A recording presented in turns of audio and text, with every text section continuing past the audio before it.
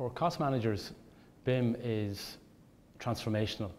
Instead of quantity surveyors or cost managers having to manually extract quantities or measure quantities from drawings or schematics or single line diagrams, um, they can automatically extract quantities from building information models. It's what we call 5D BIM, where we've taken the three-dimensional model, we've appended cost information to it, um, and produced and rapidly produced uh, estimates.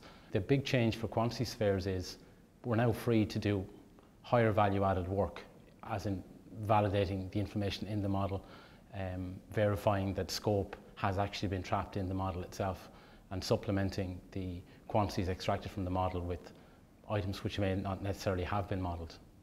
As a cost manager, you need to um, deploy and adopt BIM and, and BIM methodologies because other members of the design team are using BIM to create designs and model uh, construction projects. And the rate of change and the ability for designers to iterate through design options without having the additional overhead of changing schedules and plans and sections and, and elevations manually means that changes are going to come thick and fast at cost managers. We simply have to embrace BIM.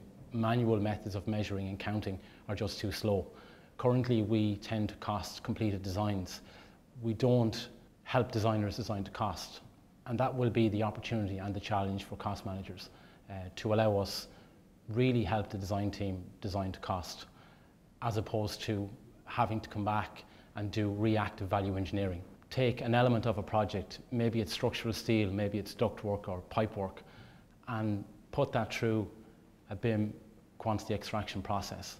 And I would recommend in parallel, do a 2D exercise on that, measure it traditionally, compare the two. BIM is all about building confidence, building confidence and trust in your capabilities and in the quant your quantities and in the models themselves. Um, so start small, start on an element of a building, then move on and do a small project in BIM. But importantly, inform the designers that you're working with that you're going to use their models for quantity takeoff. To date, cost managers have not gotten involved in the BIM process in any great numbers. And designers need feedback, designers need input from cost managers as to what they can do. So I would just say start small, plan, evaluate the software options, and if you are evaluating software, maybe look for a tool that will allow you to do traditional 2D takeoffs on screen and also do BIM takeoffs.